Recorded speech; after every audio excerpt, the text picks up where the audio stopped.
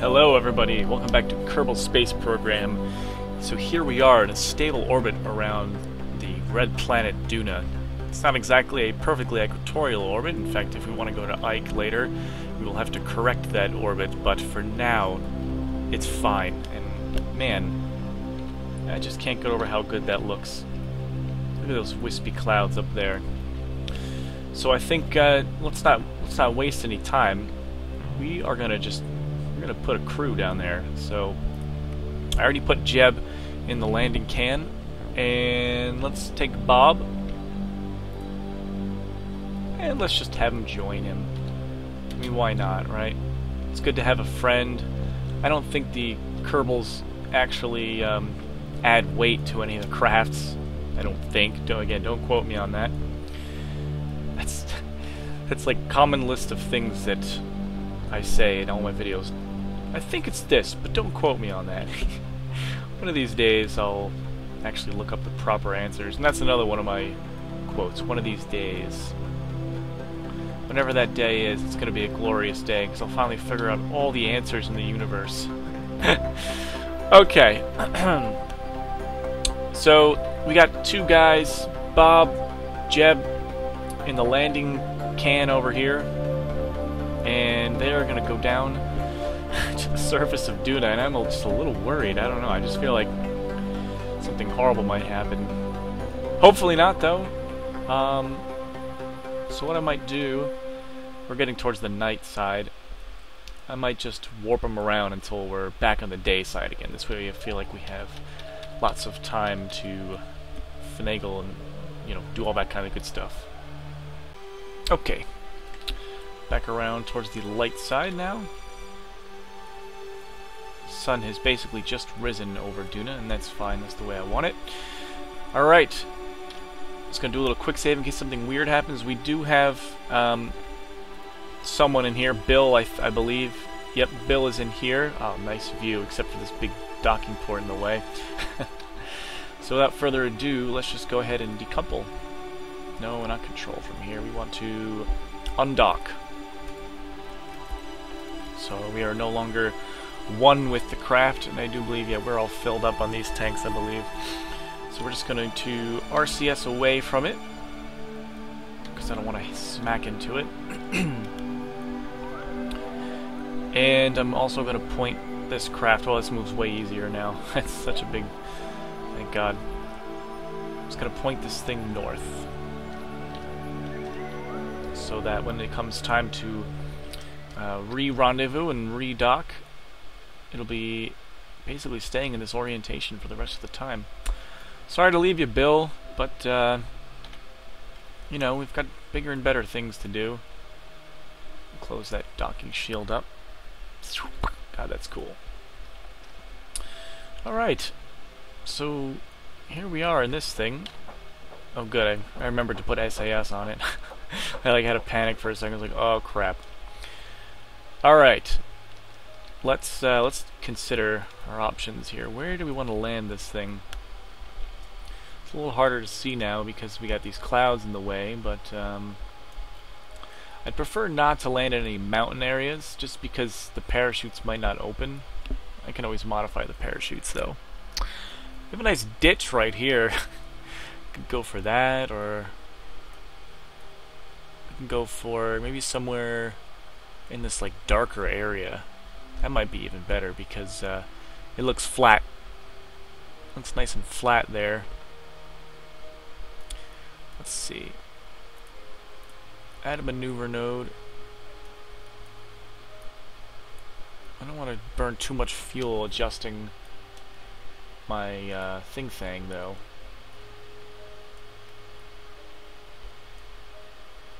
and by thing thing, you know what I mean. I mean, I want I don't want to burn too much fuel adjusting the inclination. I think that'll be okay. Do something like that.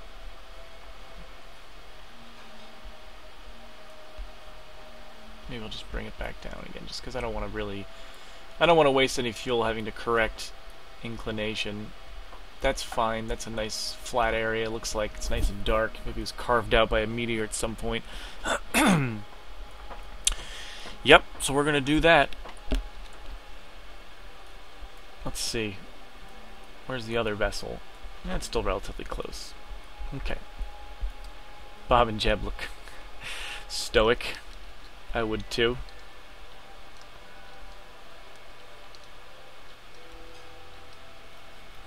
Just want to get this stage activated here. Brilliant. Alright, we have a burn coming up in three minutes. It's not going to take too long. It's not going to tell us because it forgets how powerful this engine is. There's Ike. I do believe we'll be landing somewhere... Yeah, we'll be landing somewhere where Ike will be up. Which is always fun. I like landing on a side Duna where Ike is, because Ike doesn't really move. Ooh, let's just, uh... Oh, this is gonna be a five second burn. Ah, it's nothing. Practically deorbited ourselves already. so we'll just warp ahead a little bit more, just to get it right down. We'll do it right about there. Duna will rotate, of course, so we won't Maybe like right there is probably okay. Yeah, that's fine. Alright, so this is it, folks. So I might just do a save, just in case something horrible happens, and I might just modify... Oh, you know what I just realized? Oh, why did I make my parachute? Zero, I think. Okay, we can just hit zero.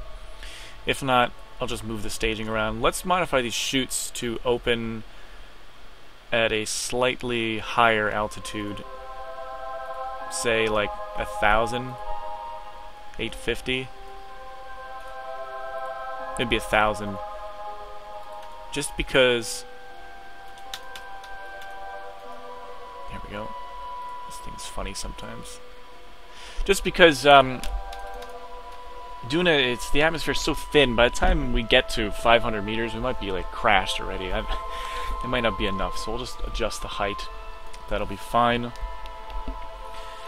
So let's do this. Uh, well, you know, we should pull the uh, panels in. Push button 1. This is the exciting part. Have our surface and our vessel information out. Okay. I don't. I want to try to burn as less, the least amount of fuel as possible in this whole event here. Because I'd rather not be stranded. I mean, would you? Come on.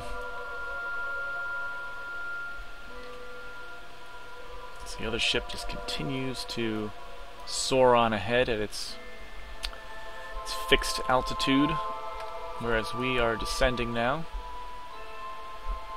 And we are inside the atmosphere now. That is it, folks. We are in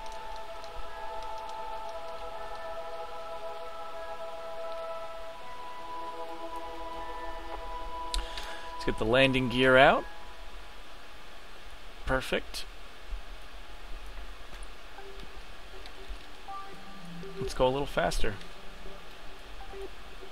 Landing on planets with atmospheres is a little trickier than just landing on a moon, especially a planet like this. A lot of gravity compared to the moon or Minmus, so we have to kind of rely on these chutes to do a lot of the work for us.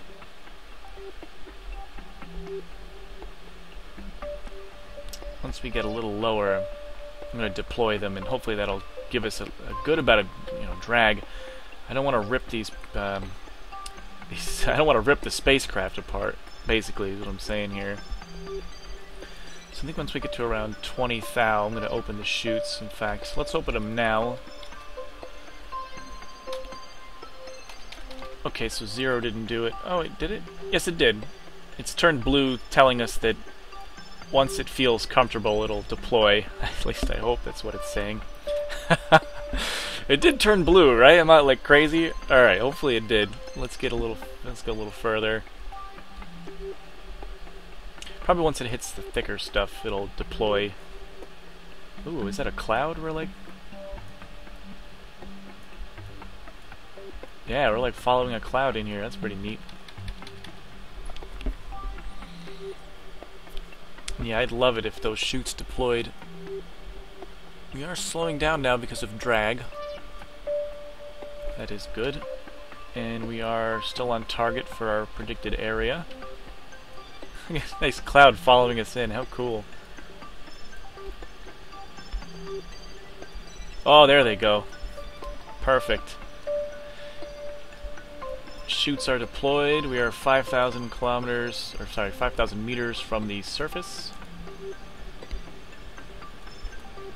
These are going to give us a good deal of drag.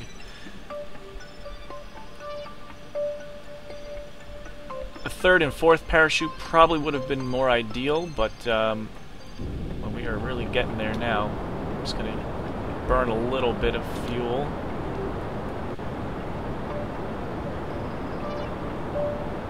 Again, when these parachutes deploy,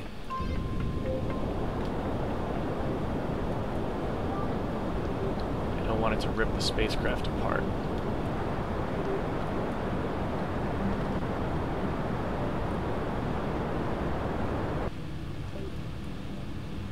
Come on. Ooh, there we go. There we go.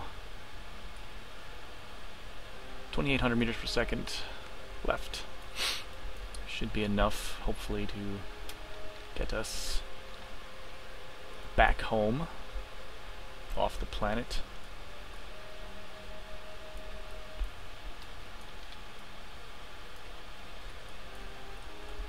Three hundred meters. Wow, how cool. Oh my gosh, look at the dust storms. Oh my goodness.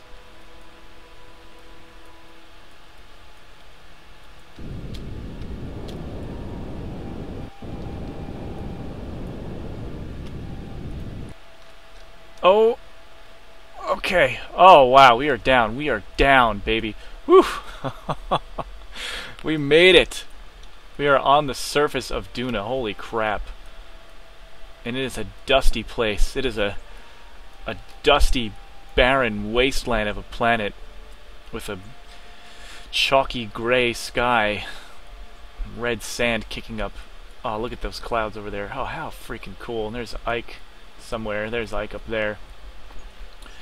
Amazing. First things first, let's do, let's get our work out of the way. Crew report. Uh, before we do that, let's hit button 1. We'll get the panels back out. So we can charge up the batteries again once we use them. 40 science. I feel like that should be a lot higher for Duna. I mean, come on. We're on a different planet, for Christ's sakes. This is the first Kerbal kind to land on a different planet. Unbelievable. Mystery goo from the surface of Duna. 80 science. I'll take that. And let's take this materials study. 200 science. Everything is turned red. It'll never wash out of white spacesuits. You consider sending missions in pink EVA suits to reduce cleaning costs. How funny. Great.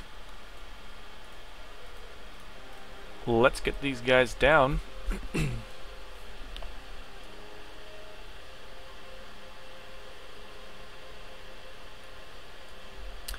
I think Jeb should be the first Kerbal on the surface.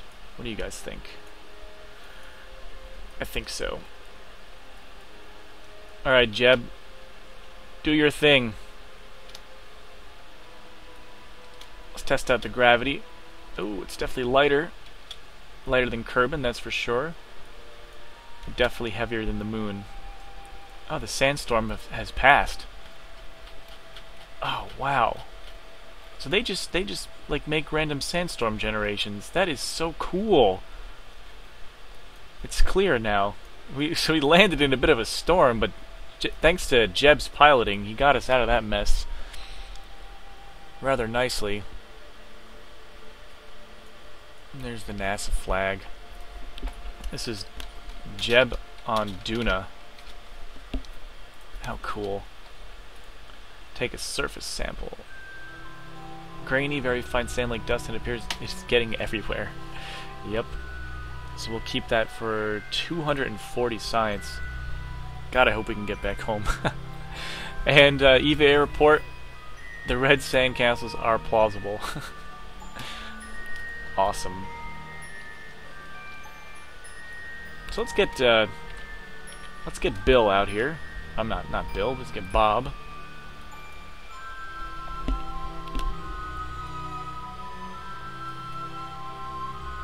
Coming down the ladder.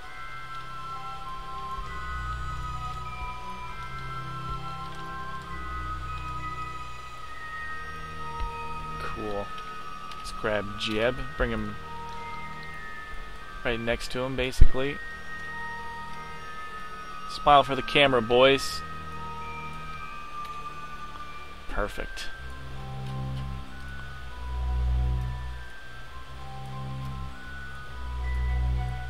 There's another good shot right there.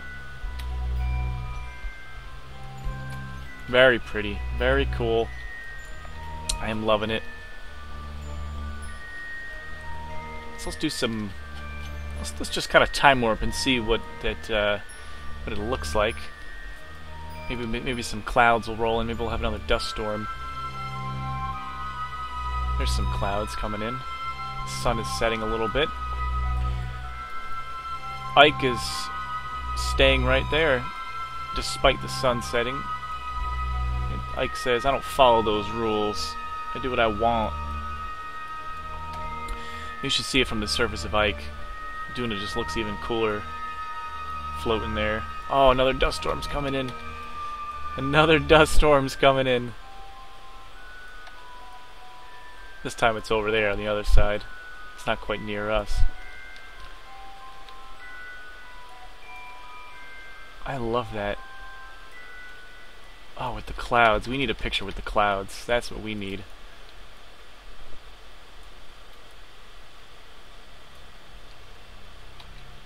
That's what we needed, a picture with the clouds. I'm like a picture happy. Alright. Let's see what night looks like on Duna. Oh, a sandstorm. Very dangerous for astronauts.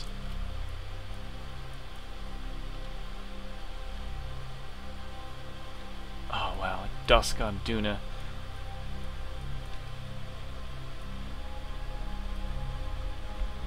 I gotta say, this probably looks the best out of any planet so far.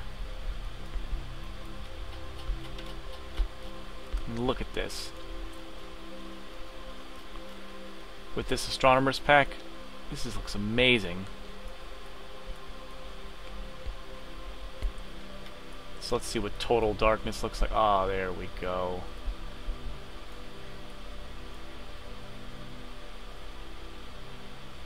That is really something, you know that?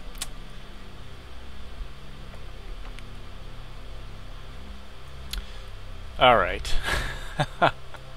enough uh, enough with this crap. If you guys want to explore Duna, you go right ahead. Hopefully this video uh, helps you uh, get there. Um, and I hope that you do install this Astronomer's Pack, because it just...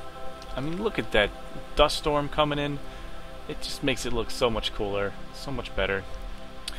And with that, I bid you all adieu.